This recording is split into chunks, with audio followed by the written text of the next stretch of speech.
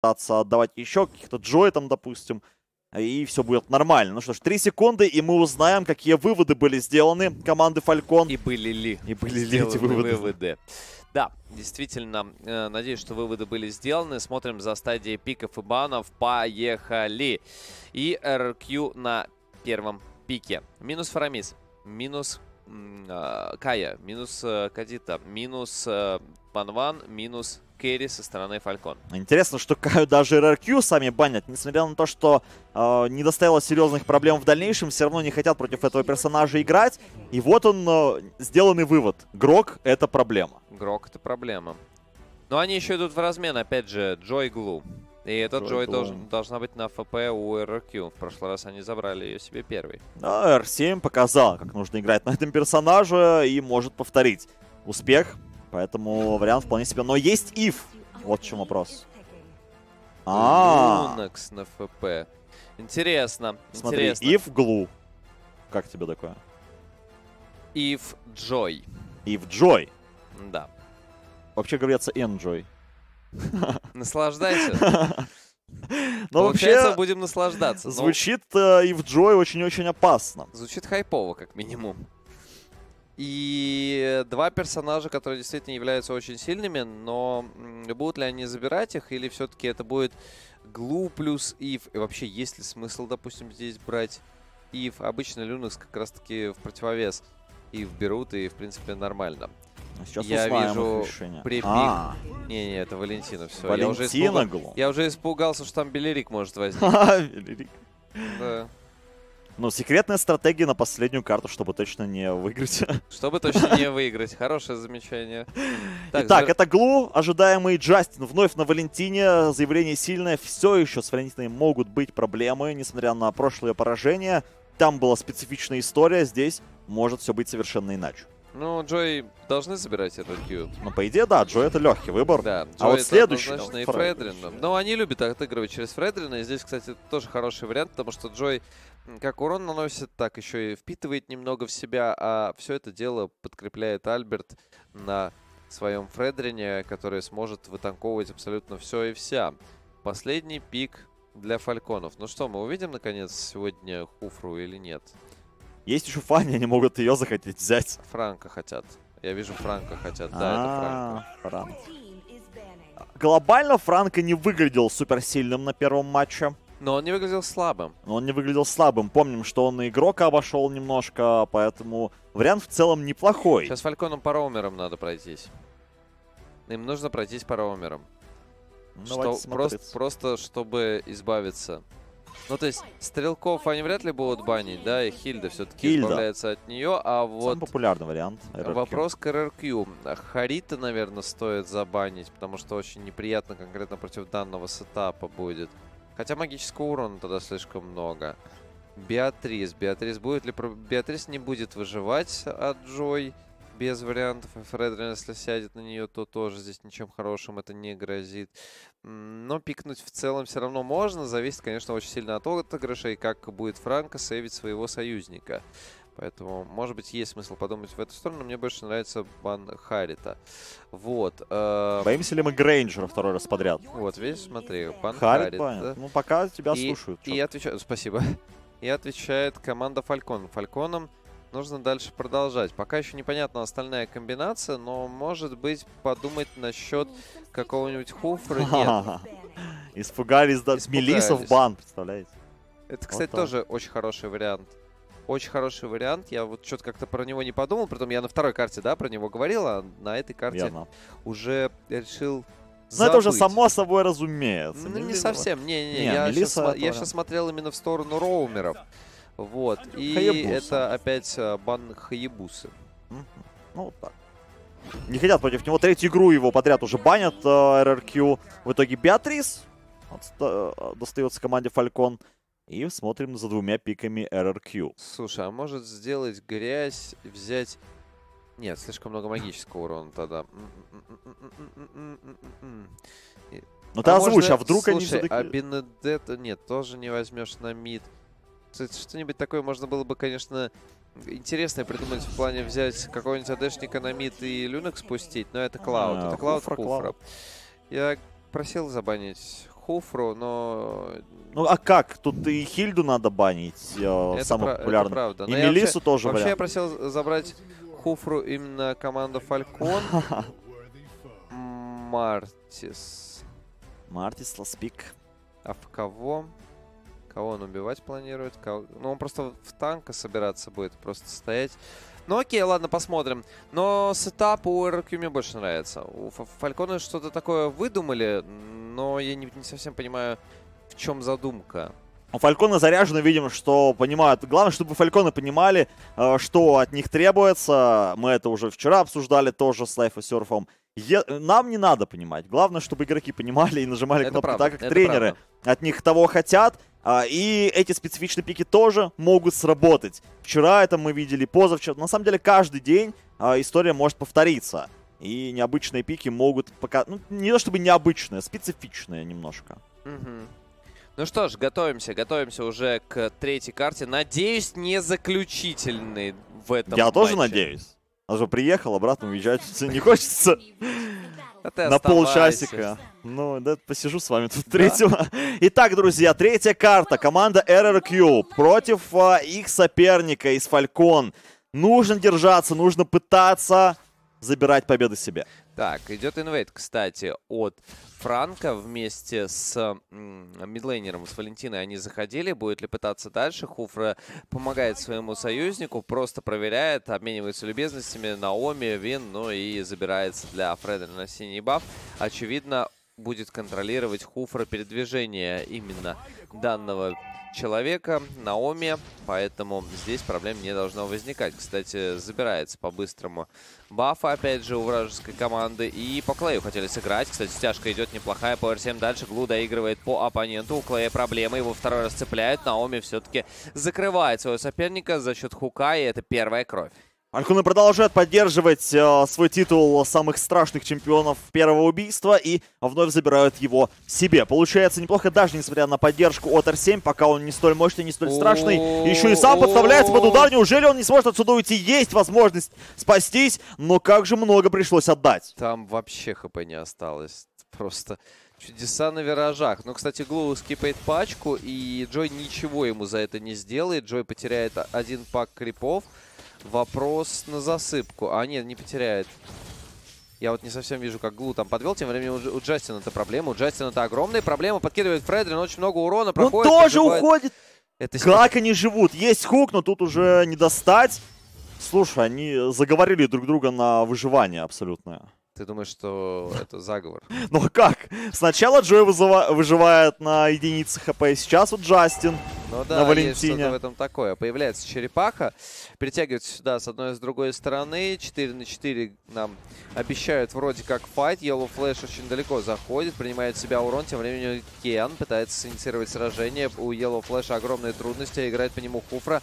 Дальше будет все-таки садиться в своего соперника. Не удается зацепить дальше. Вин отвозит своего оппонента. Ну и, кстати, Yellow Flash, чтобы отойти, Кен тем временем о, отлетает далеко и надолго. Наоми также отправляется в таверну. Минус 2 оформляют. Ой, промахнулся Ну куда ж ты, дружище, бежишь? Double kill для Джой. Третий фраг суммарно для команды RRQ. Черепаха также уходит им. И старт полностью потерян сейчас команды Фалькон. Тысячи преимущества. И в этом даже не участвовал. Такое ощущение, что Клауд спокойно стоял сверху и зарабатывал также катастрофические цифры золота. У тебя правильное ощущение, конечно. Это, ну, это очень больно. Ему А не, не было смысла участвовать, тем более он так и так будет разгоняться. Вот, у него есть возможность, команда без него прекрасно файтится. Что ж, запушивается линия, и Глу придется теперь дефать, а вот Джой перетягивается ближе сюда. Кен У Погибает. Кена уничтожает. Там еще R7 хочет сыграть по Джастину, но как-то вообще игра не клеится. Начали кошмарить все линии. Правда, страдает Привет. немножко Вин, но есть поддержка от Скайлора. Джей, R7 тоже уже рядом. Джой подбегает, говорит, сейчас я Зипекса поймаю. Джастин, правда, пришел на подмогу, но тут же вся команда стягивается, лишь бы защитить только своих тиммейтов. Но это защита, это потеря времени. Они возвращаются на базу и ничего не делают. Это печально. Это печально, кстати, Кен опять встревает. Кен постоянно файтится. Но я не уверен, что это хорошая идея. Кен сейчас опять подбрасывает. Идет урон от Клея. И в итоге Кену вроде как и не пофармить. Он на целый уровень отстает от своего оппонента. Оп! Даже теперь уже чуть больше. Седьмой на пятый. Но level какой-то сейчас получит так или иначе. Шестой. Но седьмой на шестой. И это огромное преимущество для Альберта. Будет ли подкидывание? Да, идет по Джастину. Ну и расходится. А тут R7 возвращается, он покрипскипал немножко под Т2 вышкой, переключается на центр, видит Кена, сейчас встреча, но R7 понимает, что пока команда его не готова и просто уходит. Ну, Джой тяжело поймать, очень тяжело. А вот Джастина поймать попроще, по идее, если э, захотят, но есть поддержка от Наоми, поэтому у R7 могут быть неприятности. Пробует разминать Yellow Флэша, встает Черепаха параллельно с этим. Нападение также накинул, уже один-двух развлекает, но это нападение неожиданно подкидывает двоих, нужно продолжать. Есть поддержка от Альберта, могут быть проблемы у Кена, нужно уходить под вышку, есть защита, а вот Yellow Флэш, похоже, никуда не уйдет. Уйдет. Садится на Вина и Хорошо, нужно возить. Вин. Ну, кстати, теперь уже проблема у Yellow Флэша. Действительно, подкидывание идет от Альберта, доигрывает по нему, тут же флик. Хороший хук! Какой хук только что был. А дальше что? Наоми, Дальше R7 Наоми. еще принимает на себя, но нужно вернуться и вспомнить, что Черепаха стоит. R7 пошел один против четверых драться, и это, естественно, не в пользу его. Что он здесь сделал, непонятно. Yellow Flash забирает для себя фраг. Сюда перетягивается Клей вместе с Альбертом. Они находятся. 3000 хп остается. Хороший смайт дается от Альберта. И это пересмайченная черепаха. Но слушай, уже хоть что-то показали Фалькон, потому что изначально выглядело, как будто они совсем расклеились и начинают там фидить на всех фронтах, да, и там 3-0, и понеслась. Но нет. Вот, Ф вновь напоминает, что 17 из 18 игр Фалькон забирает First Blood. Но первая кровь, она не приводит к победе, поэтому, Это помимо да. всего прочего, конечно, нужно еще... Занимательная статистика. Да, занимательная статистика. Нужно еще, конечно, контролировать карту и по файтам пытаться хорошо сражаться. Что ж, выжидает. А там нападение есть на Кену. А что дальше? Клей готов, но тут внезапно начинают бить по вину, а четыре героя-то рядом, и этого RRQ не ожидали. Наказаны. Ну, кстати, они вот думали, то, что здесь кто-то может быть, мы вроде как готовы подловить, а там их было меньше. Вот так вот. Наказаны еще раз. Уже пятый фраг для команды Фалькон. Преимущество вновь э, стремится к нулю. И Фальконы должны поднять голову, наконец, над, голов... над водой. Так, ага, все, можно, можно дышать, ломать вышки, переключаться на другие линии. Сверху уже обеспечили себе э, доступ к Т2. И ждать, естественно, следующую черепаху, там уже что-то придумывать. Но R7 тратит ульту, окей, да. Да, музычка потрясающая. Диди танцует здесь. Вообще кайфую. Почаще, у всех бы, знаешь, был, был свой саундтрек, но тогда была бы какофония, к сожалению. Да, да, к сожалению, именно так. Ну и R7 вернулся, синий баф все-таки забрали для себя Фалькона, 19 тысяч на 19 тысяч. Так, играет по Yellow Flash, тут же идет инициация, абсолютно умение пошло. Ой, взрывают! Но тут быстро. Глу. 4 в 1, это, это мы любим, это мы быстро разбираем.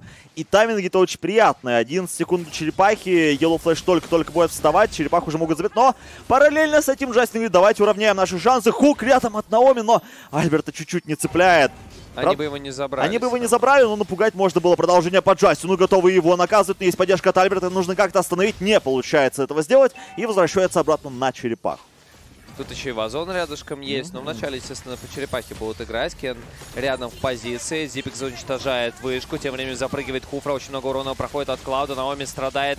Максимальное количество урона по нему прилетает. И Вин, кстати, может погибнуть от Yellow Flash. Тем временем еще и по Кену играет. Клей очень много дамага вносит. Джастин пытается как-то сейвиться. Не получается. Его все-таки шотают. Зипикс. Зипикс достреливает. Зипикс стреляет. Зипикс один против всех. Тем временем, кстати, еще хватает. прыгает по своим соперникам. Тут же ульта пошла от Хуфры неплохо. Он заставляет своих соперников нервничать. И это размен явно не в пользу фальконов, но, по крайней мере, они дают бой. Ну, пару минусов уже плохо, неплохо, если бы они еще черепаху смогли как-то забрать, но в этом плане RRQ пока вне конкуренции, три черепахи за ними, отходят под вышку, ловушка готовится, пробуют на Yellow Flash забрать так не- легко не получится, Наоми тоже не самая приятная цель, и просто отступают вновь. R7, 10 уровень уже есть, 5000 золота за ним, все вроде бы не так уж и плохо, но, естественно, пока не так здорово, как на первой карте.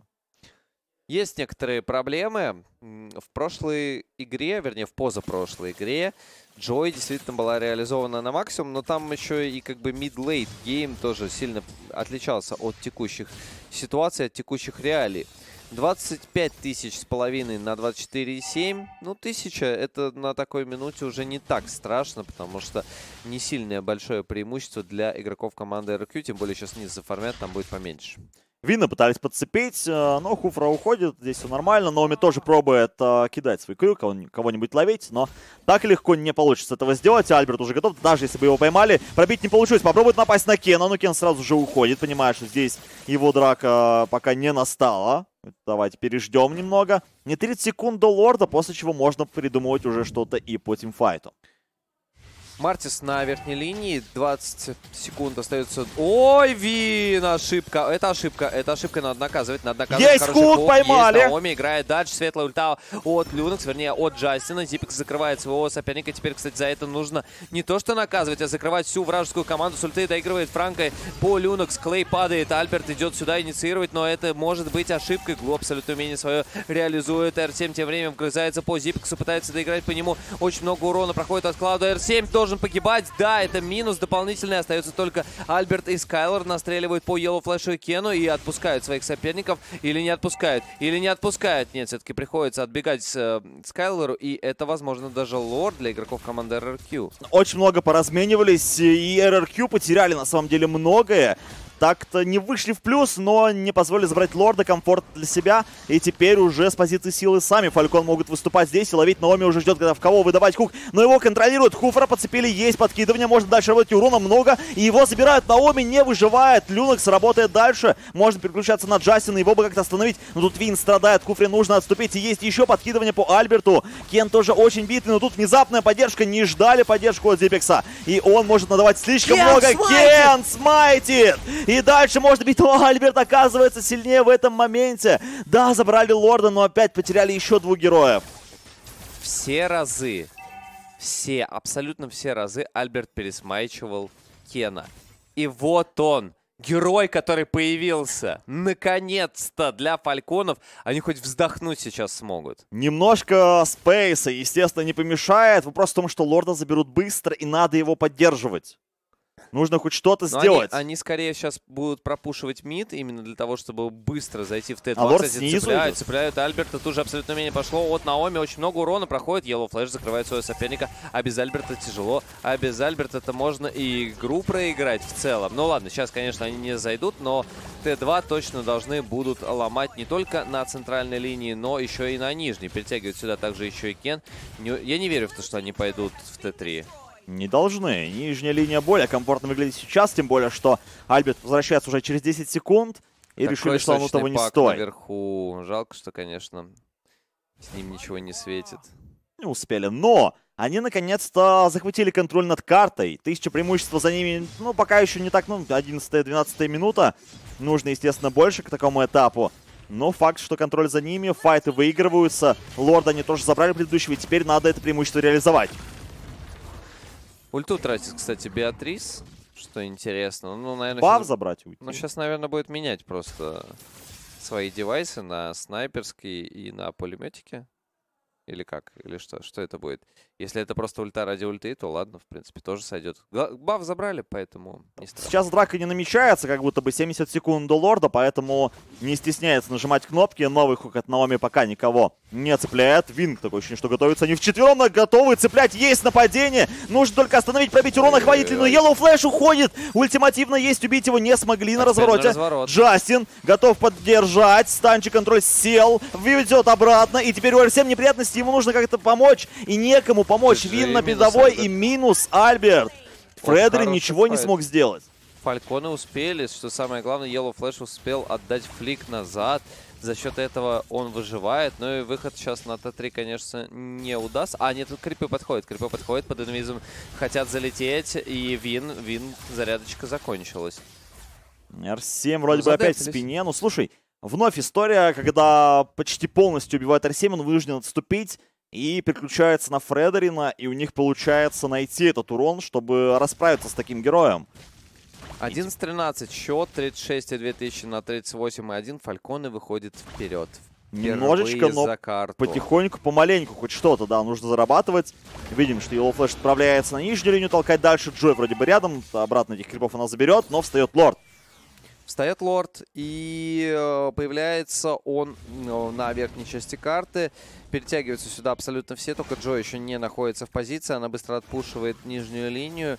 Но и R7 скоро уже здесь будет. 40 тысяч. Пока что не спешат фальконы. Они не хотят рисковать. Тут идет инициация от Куфры. Тут же абсолютно умение пошло. Играют по углу углу low HP. Но он успевает нажать ульту. У Вина проблемы. Вин отдает flick на escape. И в итоге расходится. R7, R7, кстати, может попробовать доиграть. Нет, все-таки не успел настакаться. Проблема Кен! у Кена. Кена уничтожают. И можно дальше продолжить игрокам команды команда RQ. Инициация от Куфры провалилась. Тут же под инвизом забегает дальше. Абсолютно умение пошло от Франка. Хотят доиграть. Альберт все-таки смайтит. И Наоми падает. Минус ну, Зипекс. Минус ну Yellow Флэш должен быть. Нет, на развороте Джастин падает. Yellow Флэш, куда ты пошел? Зачем? Скайлор не прощает такие вылазки. И Хуфра на подхвате. Минус 4 делает команда RRQ в размен на двоих. Забрав лорда себе. И они сдаваться тоже не намерены подержали в руках золото, отдавайте теперь обратно. И они готовы сами ломать вам базу.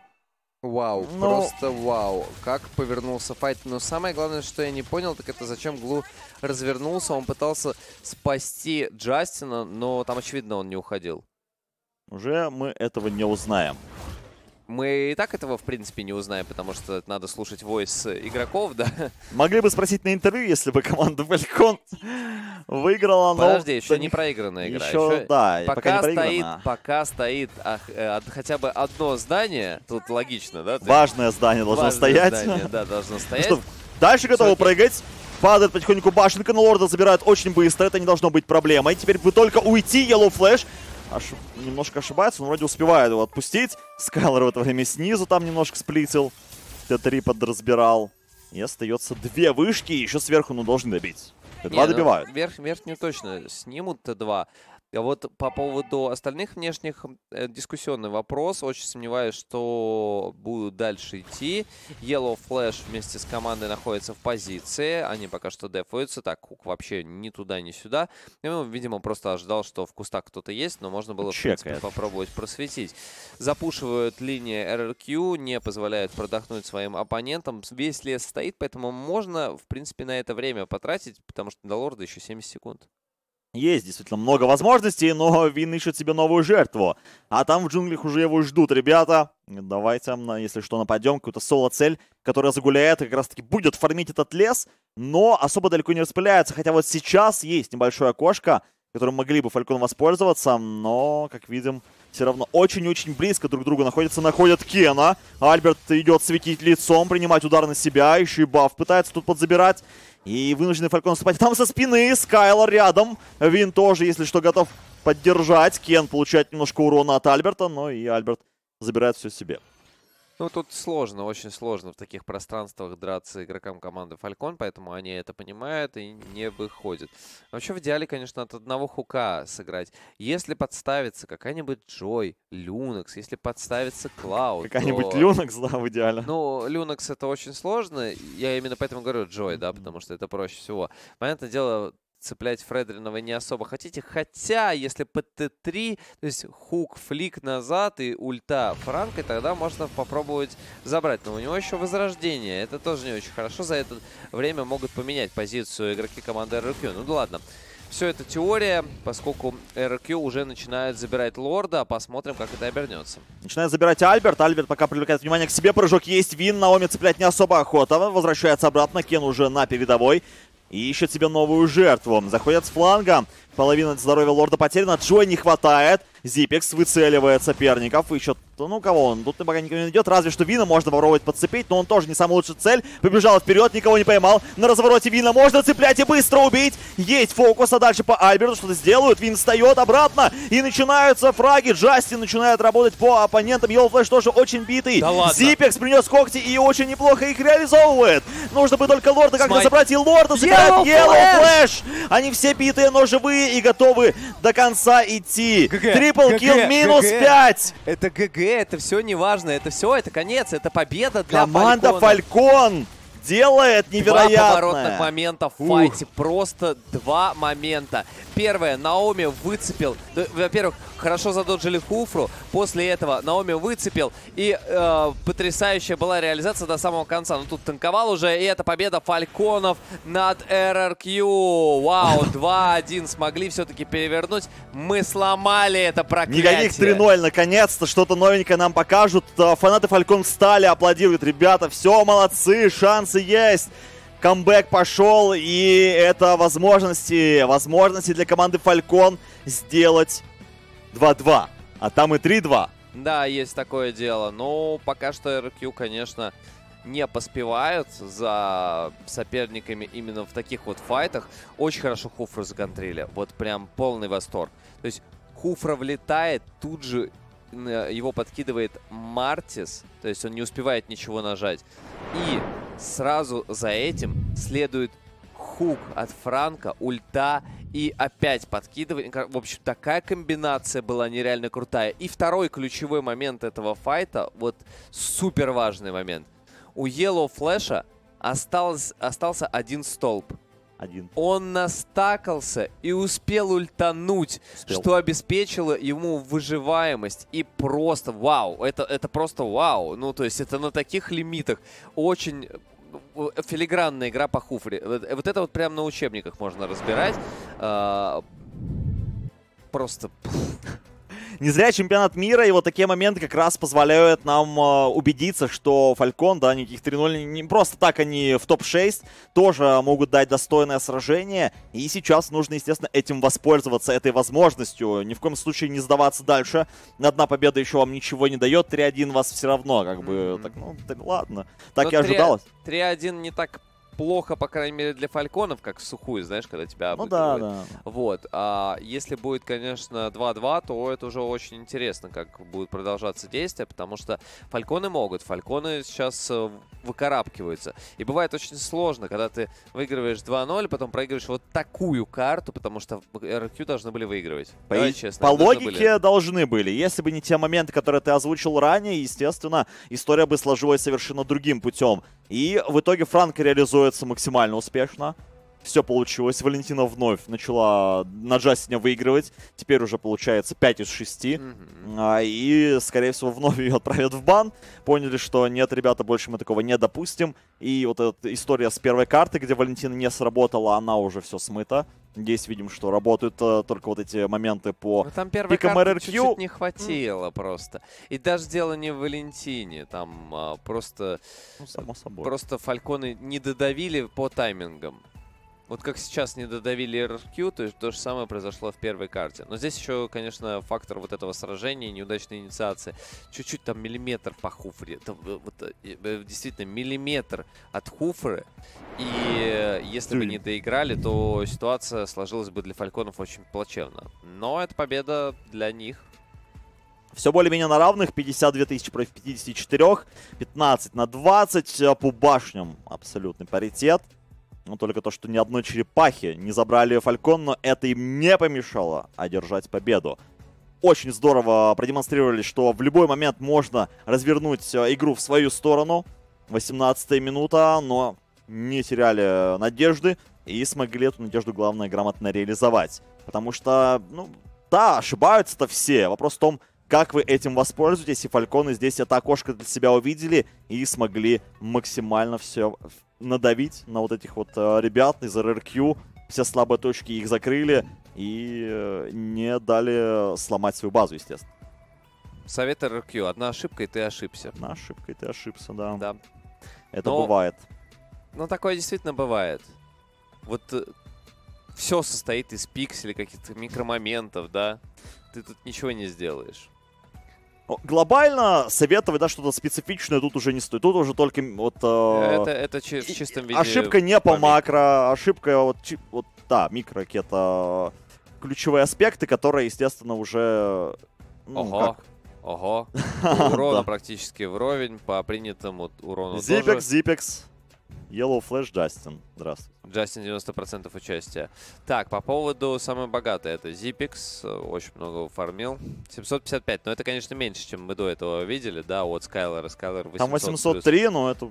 Да.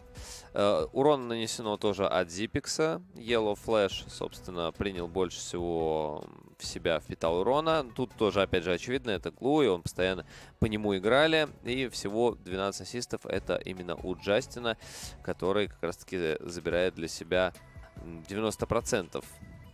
Джастин на Валентине вновь показывает, что это опасный герой, как э, Фаша для Розы условно вспоминать, если так. Э, возможно, просто начну банить первую фазу, чтобы не давать такой, ну, слишком легкий, казалось бы, выбор но тем не менее очевидный, но тем не менее эффективный. Да, эффективный это точно. Но тут много что банить надо против команды Falcon. И вот э, интересно, на какой пик сейчас отправятся игроки. Мне еще очень-очень любопытно. MVP Джастин, наверное, без э, каких-то вопросов. Да, он был везде. Ну, 90% участия в киллах. То есть, прям выполнил свою работу.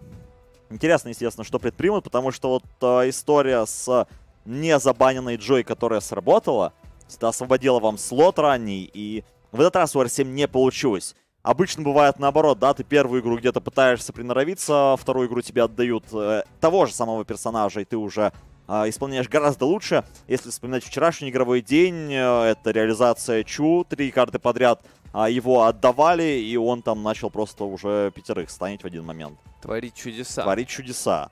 Поэтому тут как-то вот R7 потерялся максимально, и чувствовалось, что не хватает этой Джой, не хватает, выключают ее, и вот 4... Но просто на первой карте, мне кажется, опять же, не успели подстроиться под его стиль игры на Джой. На третьей карте уже подстроились, это было видно.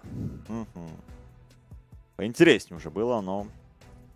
Надо что-то новое придумывать. Одним и тем же выигрывать Сыт можно. Тут э, тоже палка о двух концах. Вроде бы, если оно выигрывает, то зачем менять? С другой стороны, если только что законтрили, нужно что-то новенькое придумывать. Я думаю, что они просто сами не будут отдавать Джо и банить ее. Для того, чтобы не позволять Фальконам отыгрывать вот. И если что-то менять... Да не факт, что они будут менять. Все-таки профессиональные игроки. И даже если в этой игре не пошло, то они... на них это никак не влияет. Сейчас узнаем. MVP хайлайты. MVP хайлайты.